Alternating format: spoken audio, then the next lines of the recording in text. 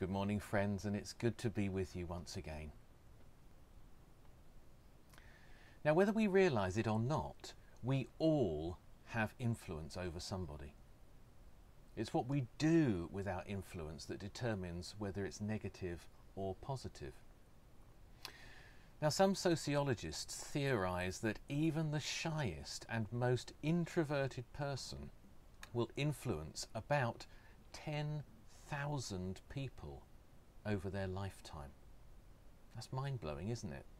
10,000 people. And every interaction we have with another person either enriches or impoverishes them. Influence is never neutral.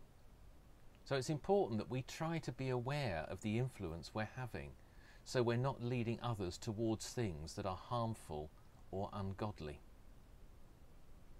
Now the Bible says in Galatians chapter 5 verses 22 and 23 the fruit of the Spirit is love, joy, peace, patience, kindness, goodness, faithfulness, gentleness, and self control. So we need to try to develop those qualities, and then we'll be better equipped to be a good influence on everyone we interact with. The bad news is that it's not easy to live up to all these qualities all the time. But the good news is that it is possible when we're under the influence of God's Spirit. Salvation is our starting point, but we need to spend time each day under the influence of Jesus. Otherwise, we'll stay in one place without moving or growing. We won't mature. We won't maximize the spiritual gifts He's given us.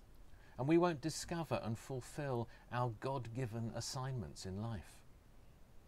And we need to let God's influence on us shine through every conversation, every thought, every action, and every word, so that others can be positively influenced through us.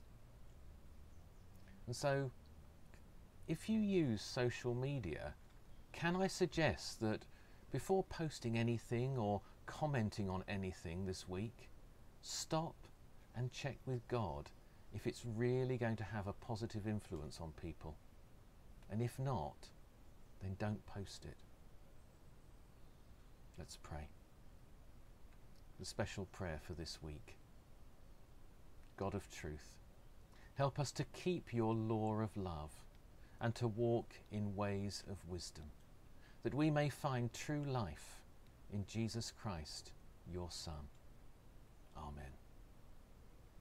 And the grace, the grace of our Lord Jesus Christ, and the love of God, and the fellowship of the Holy Spirit be with us all evermore. Amen.